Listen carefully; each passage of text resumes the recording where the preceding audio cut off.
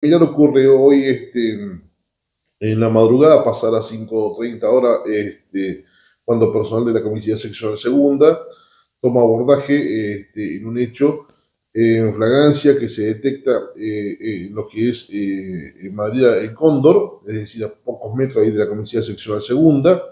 Allí se sorprendió a un sujeto de sexo masculino que resultó aprendido eh, mientras intentaban sustraer o sustrayendo, digamos, este, eh, eh, algunas maderas que se encontraban en, la parte posterior de, este local comercial.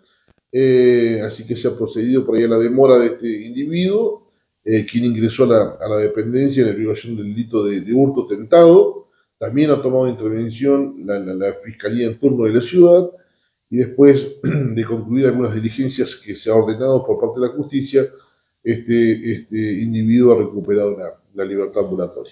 ¿Estaba solo esta persona llevándose esas maderas? Se encontraba junto a otro individuo eh, y lo destacable de esto, bueno, que a esa hora del día se encontraba una recorrida policial por ese sector que sorprende que en esta, en esta faena delictiva de estos individuos y permitió la aprehensión de, esta persona que era correspondencia. ¿Eran maderas de grandes dimensiones? Estamos hablando de tirantes que se encuentran en el fondo de, del terreno de la madera de referencia y, este, en esa actividad se, se fue cuando son sorprendidos por los uniformados.